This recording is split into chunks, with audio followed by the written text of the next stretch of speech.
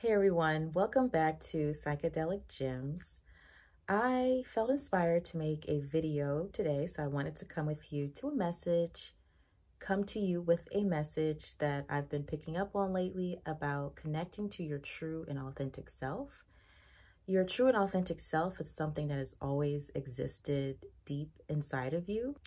If you're a person that's more sensitive to more subtle energies, and have always felt something in your soul or in your spirit that has told you that there is something more to this experience, you can probably relate or have been in connection with your true authentic self, which is connected to unlimited source and divine guidance and wisdom. And I wanted to share, I guess, a little bit of my experience of coming into contact with this energy and how it shaped and transformed my life. Um, it's something that I've always felt was there. It was something that I couldn't put words to. I couldn't put a name on it. And at times it was so subtle, it was almost like it didn't even exist, but it was just enough for me to feel it and to know that something was there. But what happens when we, you know, become a human and we go through this life experience, we are kind of trained away from listening to that, especially in the world we live in today. And I would say Western culture and Western society, where it's very external based. It's based on achievements and um, validation of the ego and creating certain, having certain accomplishments and creating almost like a false self or a false identity to move through the world with. And you create like this character that you use to represent your yourself and who you identify as. And so you may use different things to decorate this ego, like job titles, degrees, um, just different accomplishments and things that we accumulate throughout life based off of what other people around us have told to value as being um, successful or important. And it's actually necessary because we do need, we are um, tribal creatures. We need community. We need people around us. And in order to fit in with the group, you know, we've had to forego certain aspects of ourselves in, you know, in exchange for what society or what our community or our family tells us is important so that we can be included, we can be safe, we can get our needs met, we can get, you know, the security and the stability that we need as human beings. But there are, um, I guess I would say there are a segment of people who unfortunately, through just crisis and different situations that happen through life, um, death, the loss of love, um, some of us were, you know, mentally, physically, emotionally abused as children.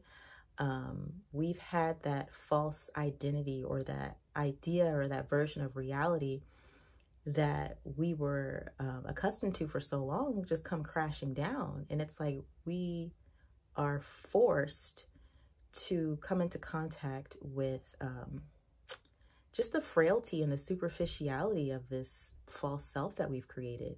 And if you're watching this video, you're most likely somebody who has had that rug, you know, just tugged right from underneath you.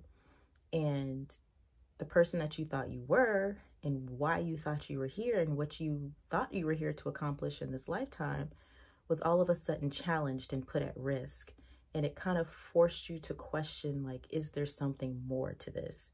Why are we here? What is our purpose? Um, what is the point of existence and the point of being a human being? Because everything up until this point that i was told was important it no longer exists. And so it's like you're forced to have something else come in and replace that idea that you've been presented with for so long. And that's when you start to tune into your your true self, the source of divine guidance and wisdom and power, and you start to ask yourself, what is my purpose? Your purpose is different than what society and the institutions that you're surrounded by and the social groups that you're in can define for you.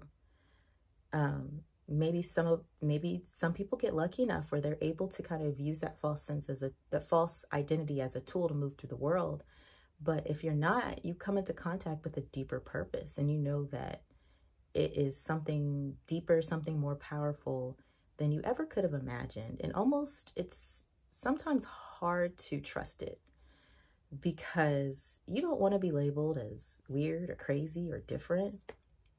You want to um, feel that you're being practical and responsible and that you're living life the way that you're supposed to. But it just comes to a point where it's it becomes impossible for you to continue down that path and you feel something kind of pulling you and pushing you in a different direction. And the practice there is to sit with that, to sit with those feelings, um, to tune out the distractions, to tune out the mental noise and the mental chatter, which can be hard because our whole lives we've been told, we've been given certain programs and certain belief systems and told what's possible, what's not possible, what's good, what is bad. And it's all been based on this um, idea or this misconception of what society values. And this is not a video like knocking what's knocking society or telling you that, you know, um, you have to be so like rebellious and go forge your own path. But in a sense, you do. Um, I recognize the value in finding balance and realizing like I'm a human, but I'm also a spiritual being as well. And I have to learn a way to value and honor both of those things that are within me.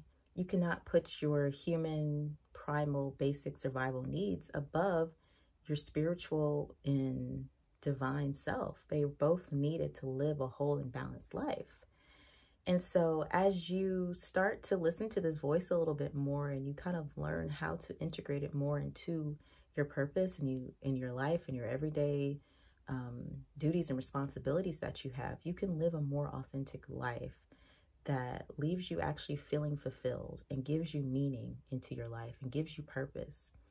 Um, and it's something you can tune in and tap into at any time. Um, I often just will sit still and almost kind of go into a meditative state and block out everything and listen. And it takes courage to do that because a lot of the things that it that will come up and that will be communicated to you go in direct opposition of what you've been told and what you've been taught all this time. Um, but it does lead to a more, um, just more guided and aligned life path. And that's why I make these videos. That's why I, you know, go on these, these trips and these journeys that I have because I've been longing to connect with that part of myself. And I know that there are others out there as well who have similar experiences and similar journeys. And so I want to encourage you in this video to have the boldness and the audacity to listen to your, your divine and authentic self, to get connected to that part of you because everything that you've gone through, all the trials, the hardships, they're all trying to point you in a certain direction. And it's trying to get your attention, it's trying to teach you lessons. And sometimes we struggle with it because we're like, this is not what I imagine my life would look like. This is not how I imagine things should go or how things should be. And so some, some, sometimes it's hard to come to terms with that and really wrap our minds around it and embrace it. But what's the alternative? You can't live this half life anymore where you don't feel fulfilled, where you feel empty, you feel disconnected, you feel a void, and you try to fill it with other things that society tells you should make you happy. And then you get those things at the end of the day, you realize that it doesn't satisfy it, that there's still something more that your soul is asking from you. And I just was inspired to make this message, and I would love to hear anybody else's thoughts or um, experiences with going down this path as well. So feel free to leave a comment down below. Um, please subscribe to the channel if you haven't done so already. I'm working to create a community of people who can support one another and not feel alone. And we know that, you know, other people can relate and have similar experiences to us as well. So we can be more empowered to live our true purpose and um, live in, a, in alignment with our authenticity. So thank you so much for watching and I will see you in the next video. Peace.